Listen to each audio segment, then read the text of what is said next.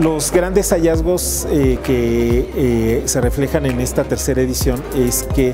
hay de alguna manera una contracción del empleo. Eh, incluso me parece que eso va a tener problemas en el corto plazo porque significa que las empresas no están invirtiendo en nuevos puestos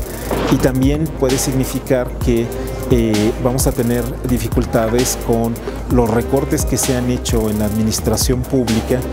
Eh, va a haber muchas personas eh, desempleadas que ya la opción no va a ser el sector público porque se han contraído los equipos y los ingresos y entonces se va a sobrecargar la competencia al sector privado.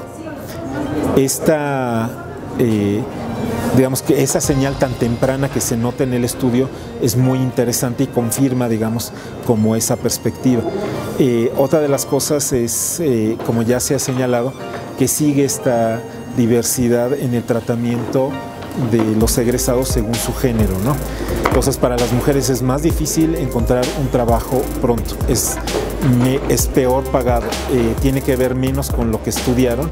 y finalmente incluso cuando es el esfuerzo de autoempleo, cuando es el esfuerzo de ser profesionista independiente, los ingresos que ahí ya no estás dependiendo de una estructura porque tú generaste la oferta, de todos modos es pagada por el mercado con eh, menor valor. Entonces, eh, también es muy importante que desde la universidad se desarrolle esa visión de exigencia de equidad de género en la participación laboral.